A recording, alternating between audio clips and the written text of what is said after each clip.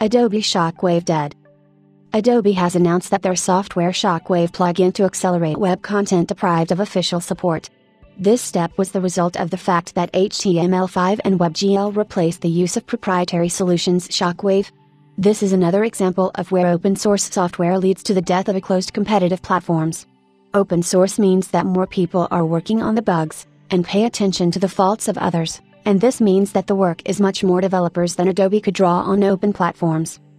After allegations that dead Shockwave, Adobe installers are removed from your website, which means that no additional versions of the software or downloads from the company itself will be no more. Corporate customers will not be ignored due to a reduced period of support from Adobe with the new security updates for the rest of their contracts. Future content based on Shockwave, it is not clear, but the content is sure to become inaccessible to the majority of users.